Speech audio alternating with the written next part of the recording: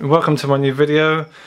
This one's just going to be about basically putting a base coat down on your model and showing you the effects of pre-acetone and after acetone. So this is just a quality kind of video showing you the benefits of acetone because a lot of people still seem to think that sand spending hours of their life sanding and and spraying and sanding and spraying is good but it reduces a lot of quality well my one you essentially don't even sand it. I mean you can sand a little bit if you want just if, if your printer's having problems and producing weird layer lines or there are differences in the size and there are natural weird layer lines. But essentially I've got one model that has not been acetoned at all and one model that has. So what I'm gonna do is I'm gonna spray them both and show you how I do it and then compare the results close up. So here we go.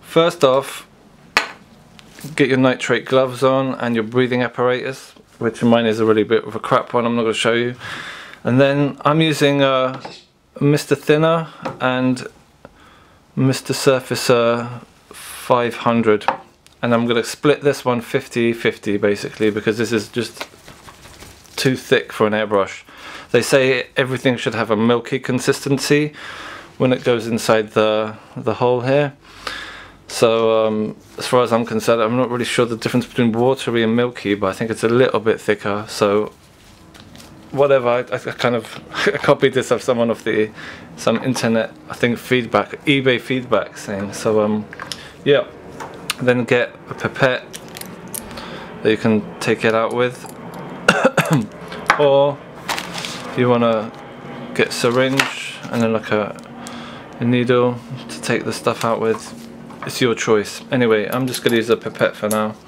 because this stuff's not expensive. I generally use the needles and stuff like that for really expensive silver where I don't want to have a lot of waste and I've just got tiny little vials. But for this stuff we'll just go ahead and use this stuff here. So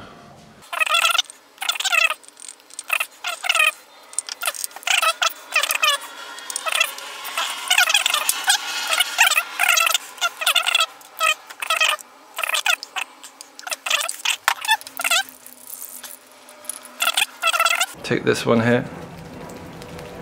Give it a nice mix. And look inside. And I don't know if that's a milky consistency but it's good enough whatever for what we're gonna do. Alright so take your primer put it away.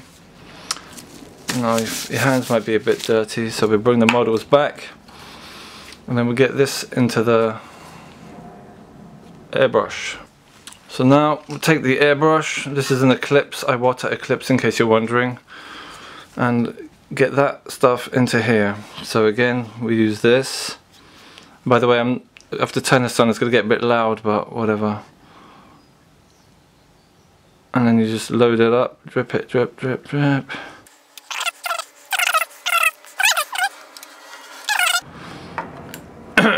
and start spraying unacetoned one.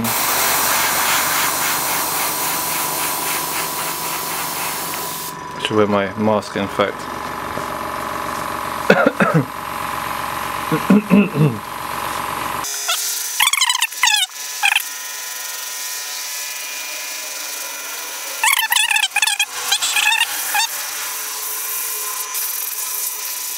For now, another acetoned one.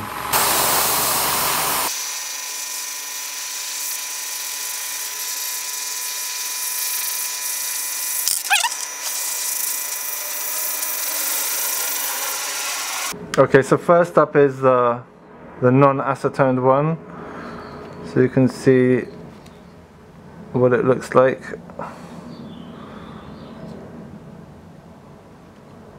Nice print,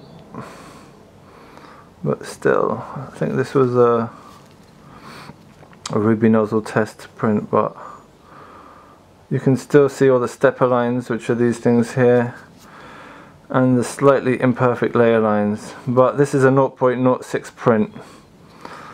So that's that one. Alright there's the top where it finished. And now we do the acetoned one. I did sand the top a bit, but there you have it. That's what the acetoned one looks like. So you've still got some of the lines. Don't forget I haven't done any beauty sanding on this. It's literally just a dip or a brush or whatever. As you can see it is much cleaner all over. So side by side, if I can get them both in focus, you can see uh, there you go what they look like. Acetoned non-acetoned it's pretty obvious that the acetoned one is better. And the amount of sharpness that's lost in acetoning is in my opinion negligible. And if you think well you're lying you've spent ages cleaning that one up then I'll show you something in a minute. But there you go. Alright in fact I'll show you that thing now. So um, here's my box of crazy stuff. And the amount of these heads that I've got. In fact I've got more heads in here than anything else. Just take all this stuff out. I did not sand. 1, 2, 1, 2, 3, 4, 5, 6, 7, 8, 9, 10, 11, 12, 13, 14, 15 you know what? I got these crazy little ones here as well that I did a little anim animation with.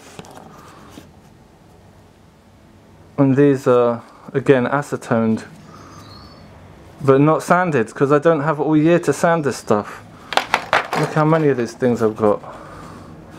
Loads. see this is acetone, acetone, acetone. This hasn't been acetone. You know this one again has been acetoned and you can see the result is the same. Really nice. So there you have it